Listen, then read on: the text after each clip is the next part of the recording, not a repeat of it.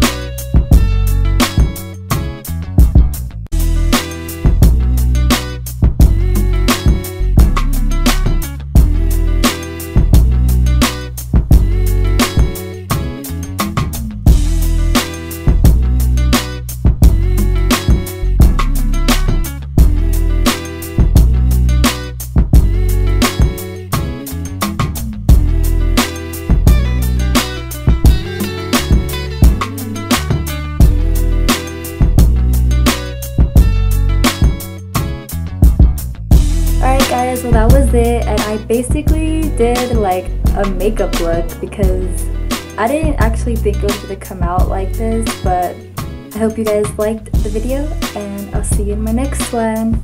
Bye!